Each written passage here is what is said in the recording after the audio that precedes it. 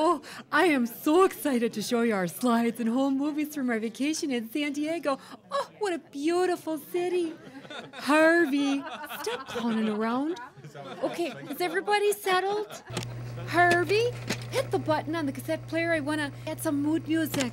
No, no, not that button. The one pointing frontwards. No, no, to the right. Ah, sorry about that, Snookums. Okie dokie, here we go. There were so many things to do and see in San Diego. We just had a blast.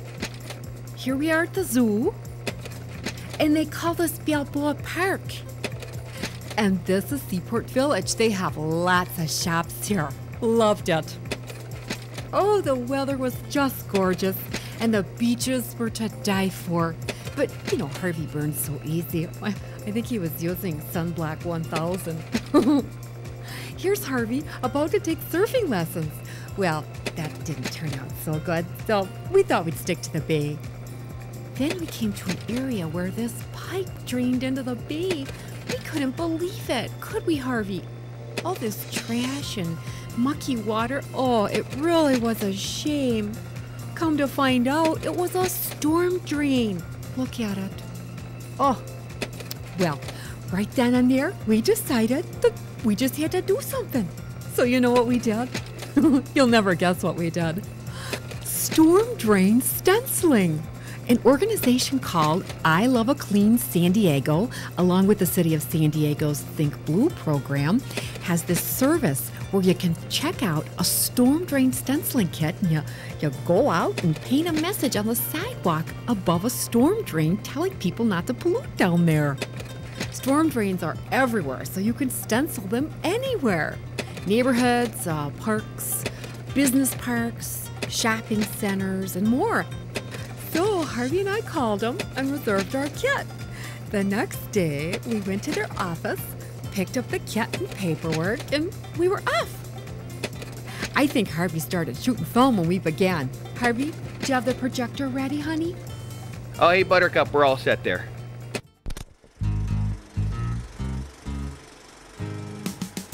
Okay, now here's the first storm drain that we stenciled. I was shocked to learn that the stormwater system is not connected to the sewer system.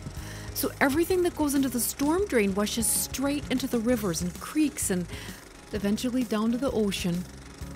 Now, we found a neighborhood that needed stenciling. Now, here's a shot of the kit. See, it comes with a bucket, a can of white, a can of blue paint, mixing sticks, a big and a small paintbrush, a rag, gloves, two plastic bags, a little chalk, a wire brush, a Think Blue stencil. See their logo with the wave? Cute, huh? And then uh, this that's a tracking sheet to let them know where we painted, but Harvey took care of that. When we started, they told us that it was a two step process. First, the white rectangle, then the blue letters, and that we should find an area that had a few storm drains so we could, you know, go in a circle and paint all the white rectangles and then go around again and paint the blue letters so we wouldn't have to sit around and watch paint dry. Harvey thought that was funny, you know. We could tell everyone we spent our vacation watching paint dry in San Diego. okay, so you want to paint on the top of the curb above the storm drain. And it's okay if it's a red curb or a blue curb. We saw a few of those. We also saw a couple of old faded stencils, and you know, we painted right over to make them look fresh and new again. Now, how did that get in there, Harvey? Sorry there. So, here I am wiping down the curb with the wire brush, trying to make it as clean as possible so, you know, the paint will stick. now, look, see how I'm doing this? I put down the stencil and trace the rectangular outline with the chalk. That's where I'm going to paint the white. And here I am, stirring the white paint. Stirring, stirring. now, here's the tricky part. As you know, maybe you don't, I'm a perfectionist. So, with the big brush, I had to paint inside the lines. Not too much paint so it wouldn't run outside the lines, but enough to make it, you know, look straight and neat. Oh, look at Harvey's fancy camera work. I'm ready for my close up, Mr. Spielberg. oh! oh, did you see that? Harvey almost got hit by a truck. Good thing there's no sound on the film because Harvey gave him a piece of his mind. From then on, you know, we stayed out of the street. It's just too dangerous. And when I was done with the white paint, see how I clean off the edges? And I put the lid on tight? Now, I bet you were wondering what the plastic bags were for, huh? Well, so was I. Watch this. You put the paintbrush inside it while you move from storm drain to storm drain so the brush doesn't dry out and get stiff.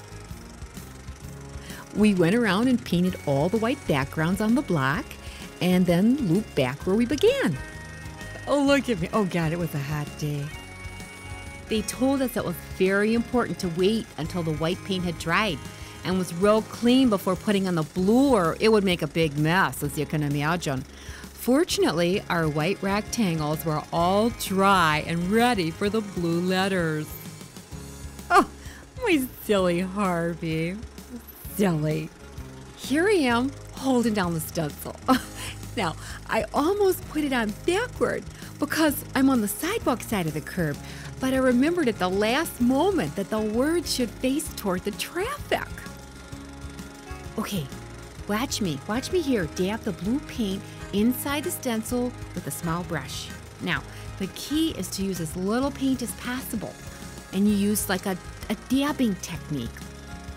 You don't want to get the blue paint under the stencil, or you'll have to paint the whole thing white and start over. Fortunately, I was careful. Look, and as I lift the stencil up, voila, a masterpiece. Here, Harvey's filling out the tracking sheet you know, putting down the address and intersections of our new stencils. When we were done, we put the lids on tight. See?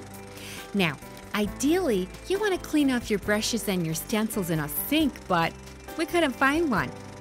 Then we met this nice woman. She let us clean up on her lawn. Oh, so nice. She was from Milwaukee, don't you know? Good people. Now, it's okay to wash the brushes over landscaping, but you have to make sure nothing goes into the storm drain or that would kind of defeat the purpose, huh? Who is snoring? Oh, I'm sorry, Tim. Are we boring you? Well, we're almost finished. Oh, Harvey, why'd you leave that in there? That's where I lost control of the hose. I got them all wet. I'm sorry, honey. We made sure all the supplies made it back into the kit and we returned it to I Love a Clean San Diego. You know, I have to tell you how good our stenciling adventure felt. You know, we really made a difference. And thanks to Harvey and me, now when you go there to visit, you can fall in love with a clean San Diego too. The end.